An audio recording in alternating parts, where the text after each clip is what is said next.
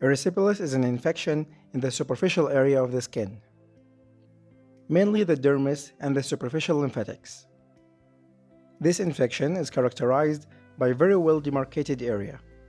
Basically, you have a raised area that is red and it is very well differentiated from the area around it.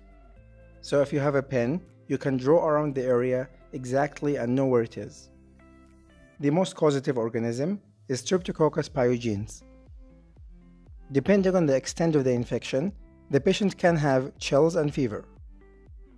And if untreated, it can progress to bacteremia and other organ infection. The diagnosis is often made clinically, and the treatment is simply antibiotics.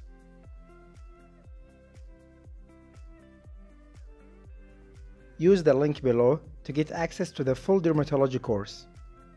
This includes more than 60 lectures with study notes and revision cards. You will also get access to the flashcards and MCQs. Thank you for watching.